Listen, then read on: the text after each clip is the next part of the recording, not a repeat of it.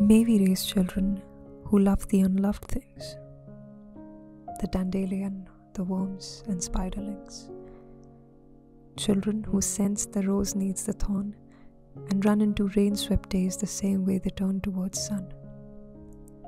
And when they are grown and someone has to speak for those who have no voice, may they draw upon that wilder bond. Those days of tending tender things and be the ones